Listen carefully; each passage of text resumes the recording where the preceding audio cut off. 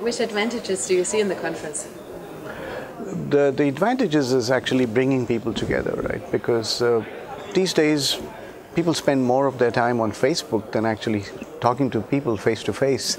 And uh, having an event where people come together, talk to each other in social settings, having over dinner or breakfast, coffee breaks, and presenting and discussing ideas, I think that has a value that, that's very hard to replace. Uh, How do you perceive the conference series?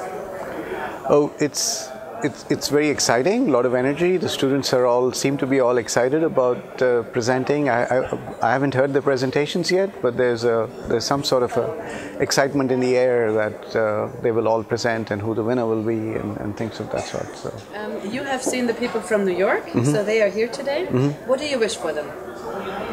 Well, I wish that they join this, they, they, they take on cybersecurity as a profession and uh, make friends here with other students and other uh, more senior professionals that are present today and, and learn from them, learn from each other and, and contribute, make a difference, uh, change the world.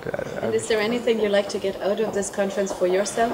We just get to know people uh, and maybe ideas and thoughts. So I've already discussed, I'm already discussing collaborations and ideas with people about what we can do, etc., in the future. So, yeah.